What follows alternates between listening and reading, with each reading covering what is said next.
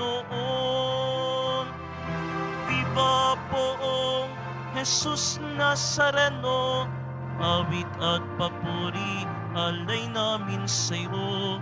Tingin ang dalangin at pagsamo ng bayan mo. Viva poong Jesus Nazareno.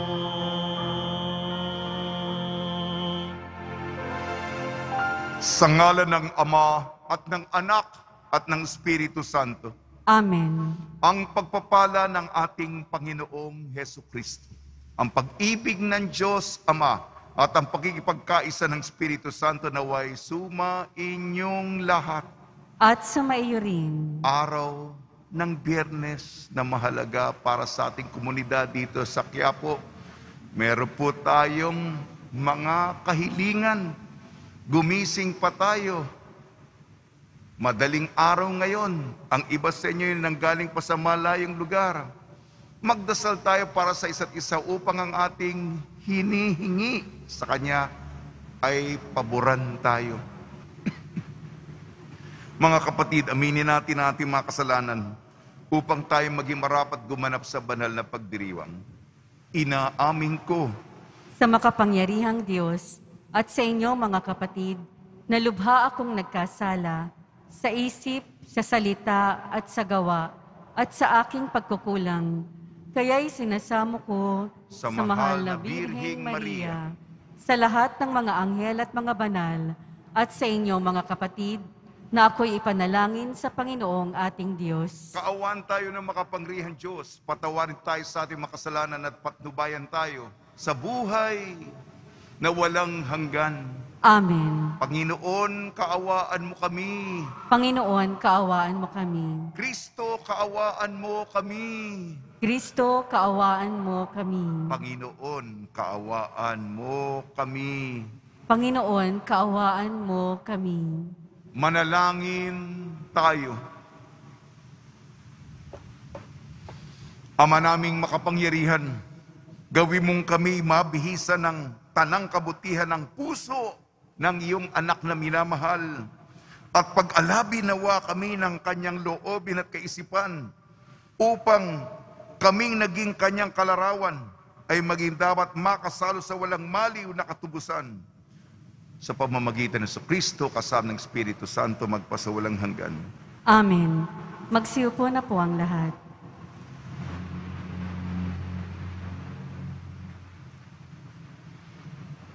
Pagbasa mula sa aklat ni Propeta Daniel.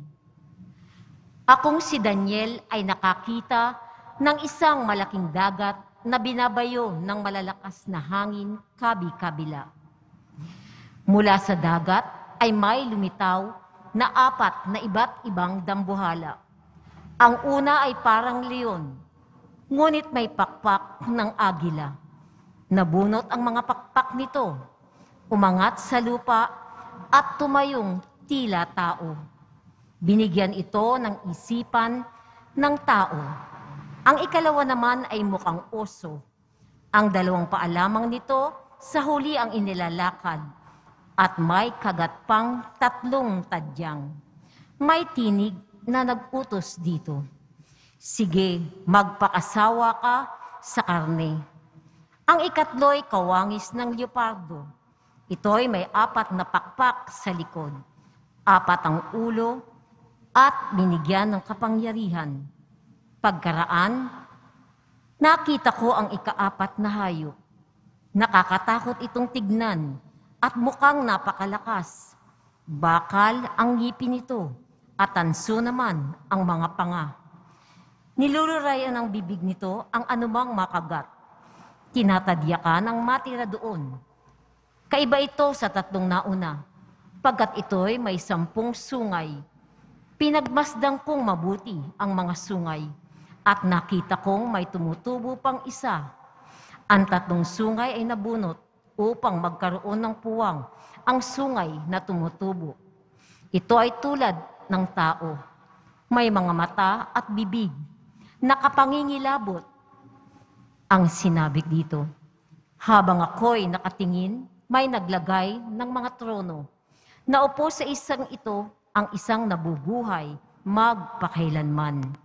Kumikinang sa kaputian ang kanyang kasuotan at parang lantay na lana ang kanyang buhok. Ang trono niya ay nagniningning. Ang mga gulong nito ay apoy na nagliliyab. Waring agos ng tubig ang apoy na bumubuga mula sa trono. Ang naglilingkod sa kanya'y sang milyon, bukod pa sa milyong-milyong nakaantabay. Humanda na siya sa paggagawad ng hatol at binuksan ang mga aklat. Dahil sa kakikila- kakilakilabot na mga bagay na sinabi na sinasabi ng sungay, naakit akong manood hanggang sa mapatay ang ikaapat na hayop at ihagis sa apoy. Yung ibang hayop ay inalisa ng kapangyarihan, ngunit pinanatiling buhay ng kaunti pang panahon. Patuloy ang aking pangitain. Ang nakita ko naman ay isang tila taong nakasakay sa ulap. Bumaba ito at lumapit sa nabubuhay magpakailanman. Binigyan siya ng kapamahalaan, ng karangalan, ng kaharian. Siya ay paglilingkuran ng lahat ng tao, bansa at wika. Ang pamamahala niya ay di matatapos at hindi magwawasak ang kanyang kaharian. Ang salita ng Diyos. Salamat sa Diyos. Dakilain papurihan ang poon magpakailanman. Dakilait papurihan ng puon magpakailanman. Purihin ninyo ang Panginoon, mga bundok at mga burol. Awitan siya ng papuri at dakilain magpakailanman. Dakilait papurihan ng puon magpakailanman. Purihin ninyo ang Panginoon, lahat ng tumutubo sa lupa. Awitan siya ng papuri at dakilain magpakailanman. Dakilait papurihan ng puon magpakailanman. Purihin ninyo ang Panginoon, mga bukal ng tubig. Awitan siya ng papuri at dakilain magpakailanman. Dakilait papurihan ng puon magpakailanman. Purihin ninyo ang Panginoon, mga dagat at mga ilog. Awitan siya ng papuri, dakilain magpakailanman. Dakilait papurihan ng puon magpakailanman. Purihin ninyo ang Panginoon, mga balyena at lahat ng nilikha na nasa tubig. Awitan siya ng papuri at dakilain magpakailanman. Dakilait papurihan ng puon magpakailanman. Purihin ninyo ang Panginoon, lahat ng ibon sa himpapawid. Awitan siya ng papuri at dakilain magpakailanman. Dakilait papurihan ng puon magpakailanman. Purihin ninyo ang Panginoon, mga kawan at mga maiilap na hayop. Awitan siya ng papuri at dakilain magpakailanman. Dakilait papurihan ang puon magpakailanman. Magsitayo po ang lahat.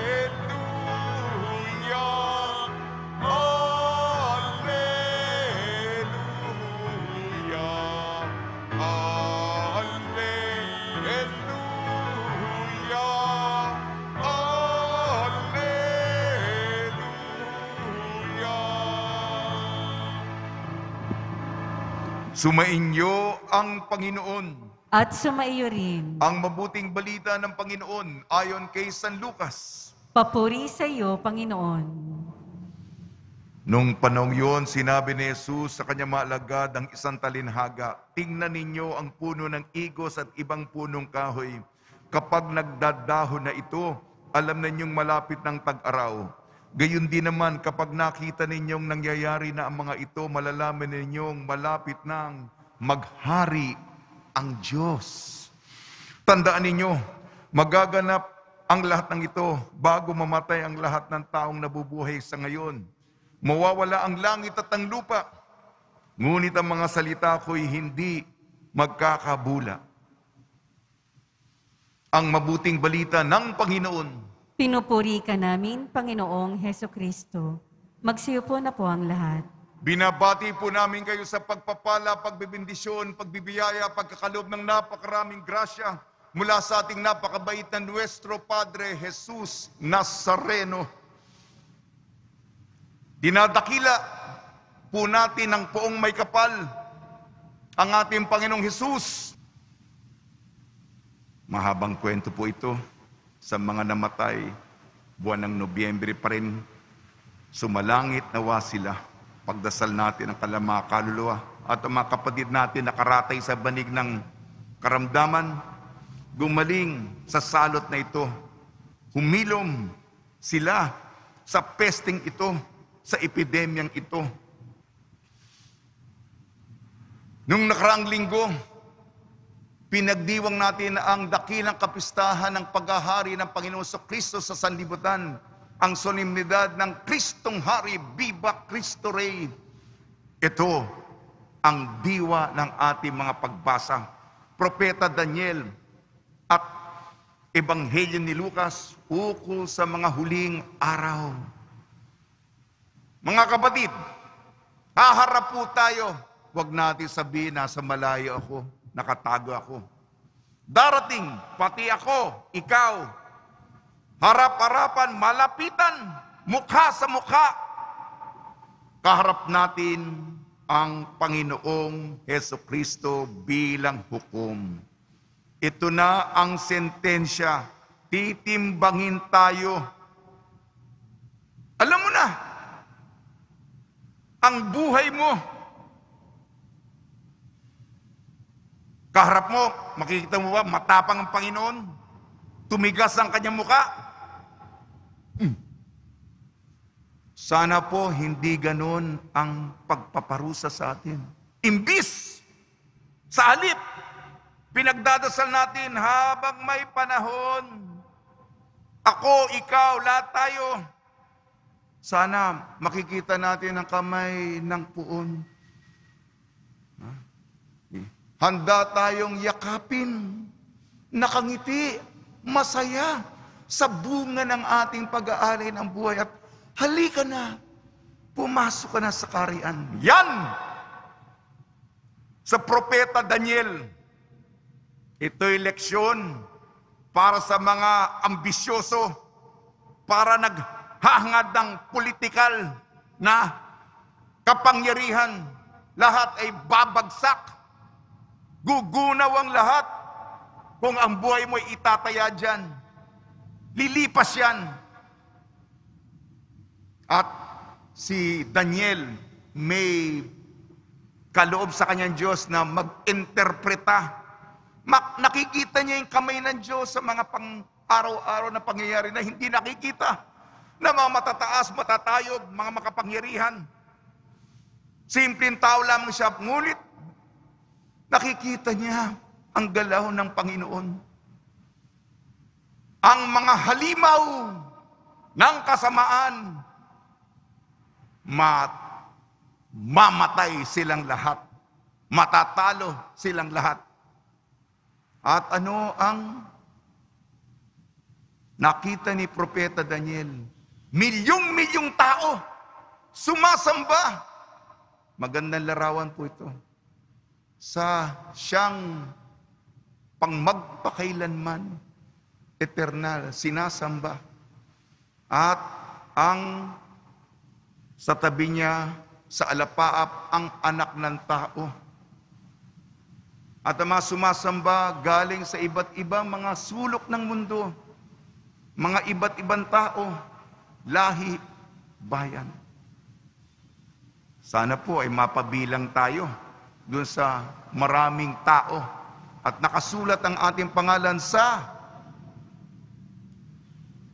aklat ng buhay sa ating ebanghelyo ayon kay San Lucas. Maikli lamang po ang ating ebanghelyo. Gayun din po, paalala, itong daigdig na ito, itong lupang ito, itong langit na nakikita natin himpapawid, ay lilipas, mawawala, gugunaw, hindi magtatagal. Ano ang may iwan? Ano ang mananatili? Ang mananatili ay ang salita ng Diyos na namumutawi sa bibig, sa labi ng ating Panginoong Senyor. Tayo'y maging matatag. Manatili tayo hanggang dulo. Huwag po tayong tatraidor. Huwag po tayong maging taksil. Huwag po tayong maging lilo. Huwag po tayong maging sukab. Hindi po tayo dalawang mukha. Hindi po tayo balik harapan. Imbis maging tapat po tayo. Tumatalima tayo. Naglilingkod tayo. Nagsisilbi tayo hanggang dulo. Yun lang po. At paalala, malapit na po ang eleksyon. Ipagdasal po natin ang ating republika. Ipagdasal po natin ang ating demokrasya. Tayo po ay mamamayan din ng ating bansa bukod tayo sa mga mananampalataya. Paglilingkod natin sa Diyos, paglilingkod din natin sa bayan. Pag po natin itong kalimutan. Sa tulong ni Maria, ni San Jose, nawa po, tayo po'y naroroon, mapabilang, makaisa, malista sa aklat ng buhay na babasahin sa atin ng ating Nuestro Padre Jesus Nazareno. Amen.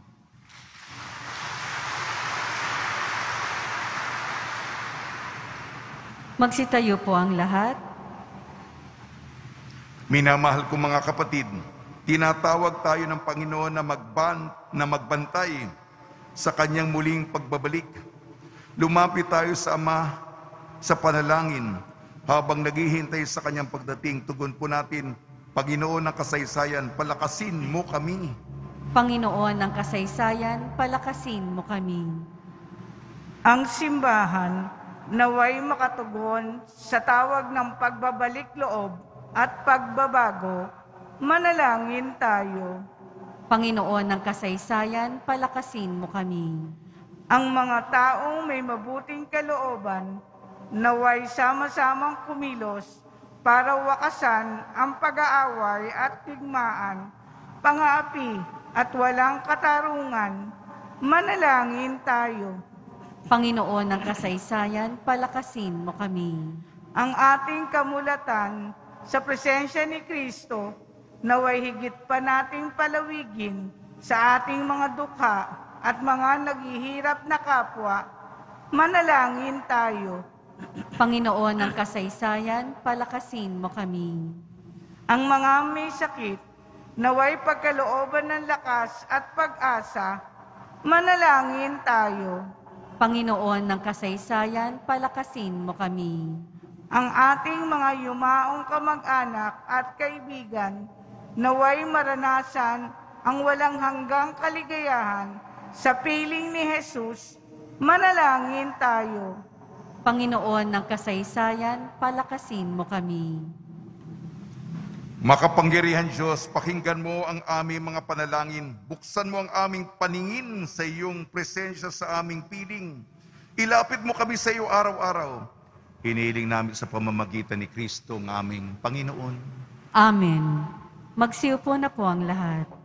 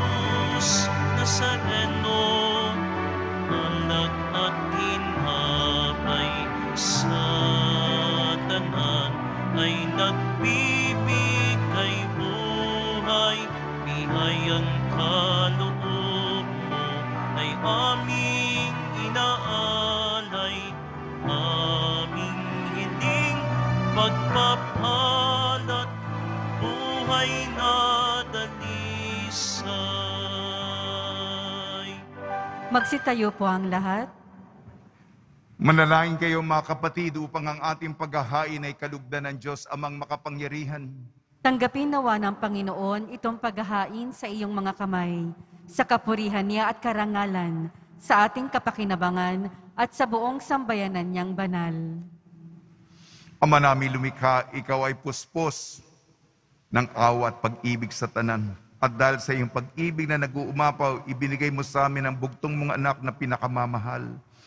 Ipagkalo mo kami makaisa niyang lubusan upang ang pagsamba sa iyo ay marapat naming maialay sa pamamagitan niya kasama ng Espiritu Santo magpasawalang hanggan. Amen. Sumain, sumainyo ang Panginoon. At sumaiyo rin, Itakas sa Diyos ang iyong puso at diwa. Itinaas na namin sa Panginoon. Pasalamatan natin ang Panginoong ating Diyos. Marapat na siya ay pasalamatan. Ama namin makapangyarihan, tunay nga marapat na ikaw ay aming pasalamatan sa pamamagitan ng Kristo na aming Panginoon. Dakilang pag-ibig niya ang nagbunsod na maghain ng sarili ng kami matubos, kaya't itinampok siyang nakabayubay sa krus. Mula sa kanyang tagilirang sinibat, dugo at tubig ay masaganang dumanak, kaya't sambayanay mo'y dito'y nabanaag. Ito ang sangkatauhang naakit sa puso ng iyong anak na sumasagib sa mga dumudulog sa batis ng kanyang pag-ibig. Kaya kaisa ng manghel na nagsisiawit ng papuri sa iyo nang walang humpay sa kalangitan, kami nagbubunyi sa iyong kadakilaan.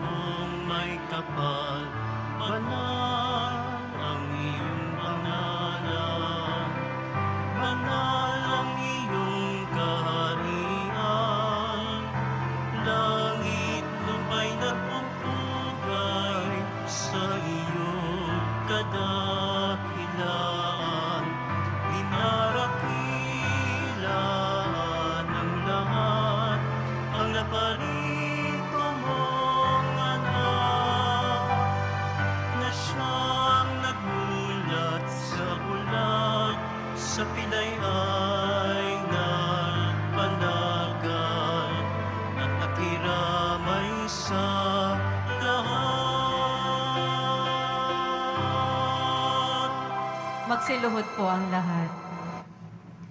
Ama naming banal, ikaw ang bukal ng tanang kabanalan. Kaya sa pamamagitan ng Espiritu, gawin mong banal ang mga kaloob na ito upang para sa amin maging katawan at dugo ng aming Panginoong Yeso Kristo. Bag niya pinagtiis ang kusang loob na maging handog, hinawakan niya ang tinapay. Pinasalamatan kanya. Pinaghati-hati niya yon.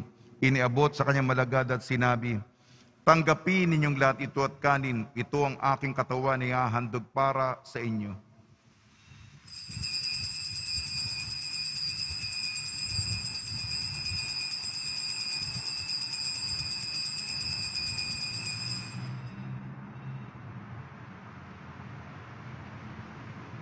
Gayun din naman nung matapos ang hapunan, hinawakan niya ang kalis, muli kanyang pinasalamatan.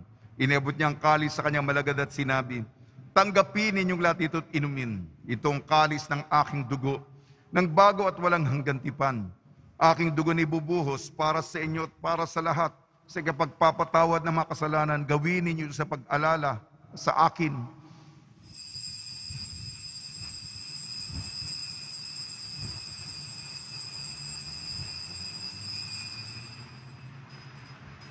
Magsitayo po ang lahat. Ipagbunyi natin ang misteryo ng pananampalataya. Si Kristo'y namatay, si Kristo'y nabuhay, si Kristo'y babalik sa wakas ng panahon. Ama, ginagawa namin ngayon ang pag-alala sa pagkamatay at muling pagkabuhay ng iyong anak. Kaya tinialay namin sa iyong tinapin na nagbibigay buhay at ang kalis na nagkakaloob ng kaligtasan. Kami nagpapasalamat dahil kami minarapat na tumayo sa harap mo para maglingkod sa iyo. Isinasamo namin kami magsasalo-salo sa katawan at dugo ni Kristo, imabuklod sa pagkakaisa sa pamamagitan ng Espiritu Santo. Ama, lingapin mo ang iyong simbahang laganap sa buong daigdig. Puspusin mo kami sa pag-ibig kaysa ni Francisco na aming Papa at ni Jose na aming Obispo at ng Tanang Kaparian. Alalahanin mo rin ang mga kapatid namin na himlay na may pag-asang sila'y mu- muling mabubuhay gayon din ang lahat ng mapumanaw. Tumigil muna tayo at pagdasal natin ang lahat mga yumao sa kapanahunan ng pandemya. Sumalangit nawa silang lahat. Kaawan mo pagidapating kami lahat na makasalo. Kaawan mo sila patuloyin sa iyong kaliwanagan. Kaawan mo at pagidapating kaming lahat na makasalo sa iyong buhay na walang wakas kaysa ng mahal na Birhing Maria na ina ng Diyos, Nuestra Señora de la Buena Hora, ng kabiyak na puso niyang si San Jose, kaysa ng mga apostol, San Aloysius Gonzaga, San Sebastian, San Lazaro, San Roque, San Juan Bautista at ng lahat ng mga banal na namuhay dito sa daigdig ng kalugod-lugod sa iyo. May pagdiwang nawa namin ng pagpupuri sa ikararangal mo sa pamamagitan ng anak na aming Panginoong Heso Kristo. Sa pamamagitan ni Kristo, kasama niya at sa kanya ang lahat ng parangal at papuri ay sa iyo, Diyos amang makapangyarihan, kasama ng Espiritu Santo, magpa sa walang hanggan.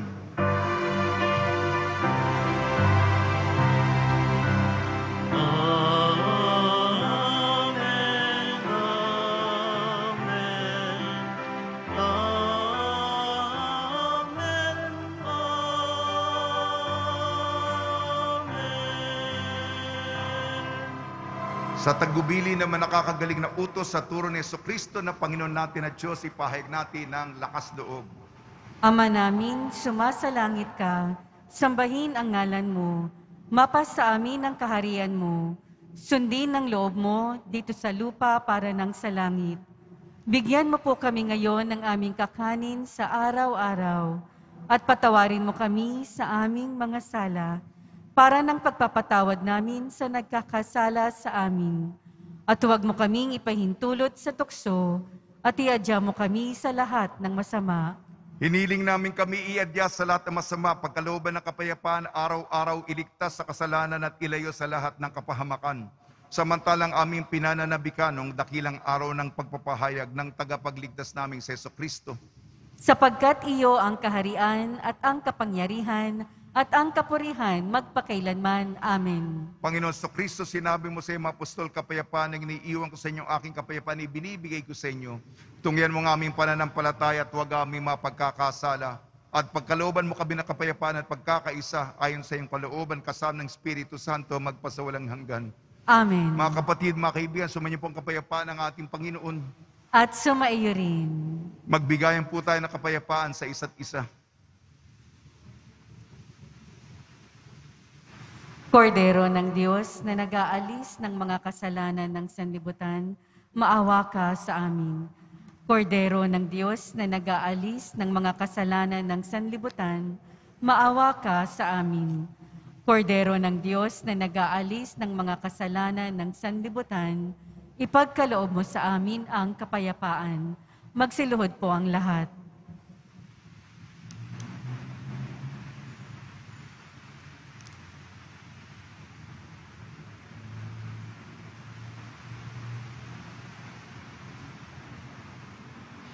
Ito ang kordero ng Diyos. Ito nagalis ng kasalanan ng sanlibutan. Mapalad na inayayahan sa kanyang piging. Panginoon, hindi ako karapat-dapat na magpatuloy sa iyo, ngunit sa isang salita mo lamang ay gagaling na ako.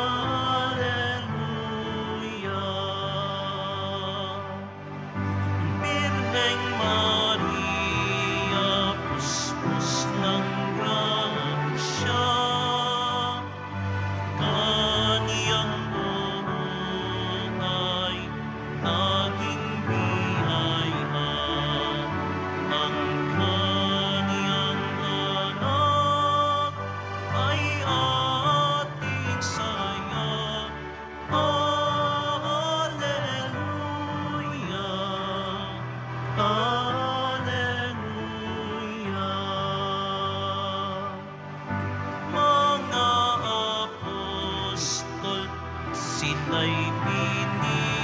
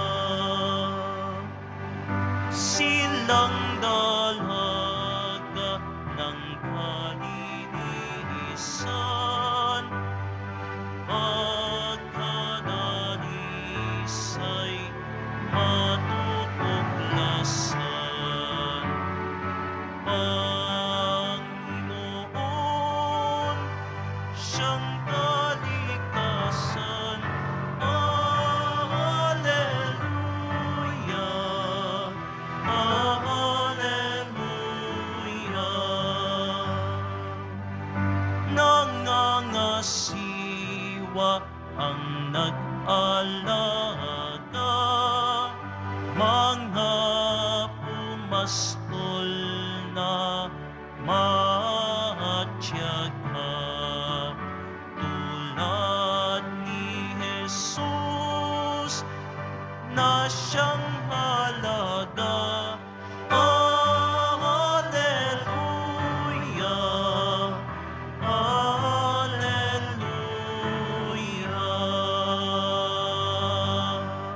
Magsitayo po ang lahat.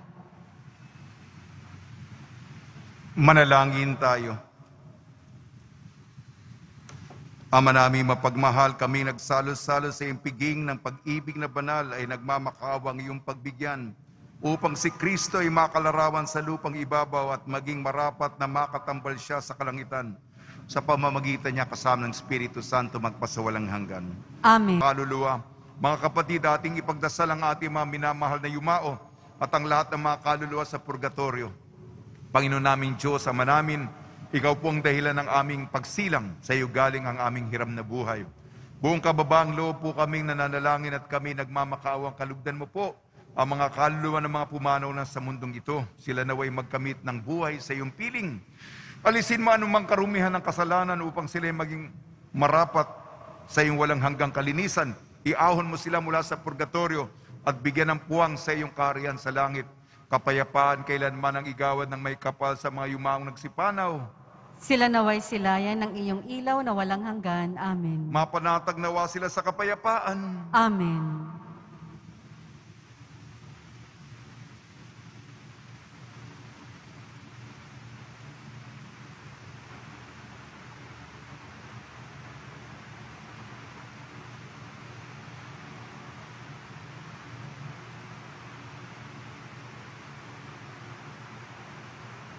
Pagbabasbas sa mga deboto ng kanilang mga kahilingan at dasalan, mahal na pong Jesus Nazareno.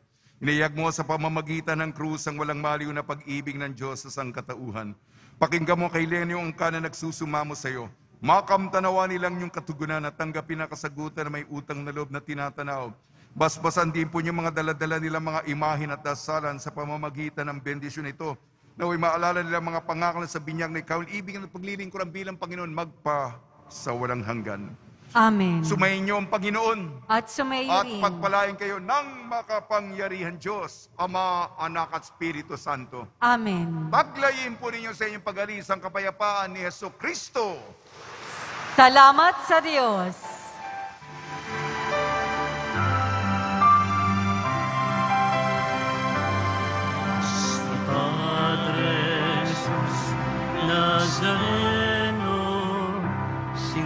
Sinasamba ka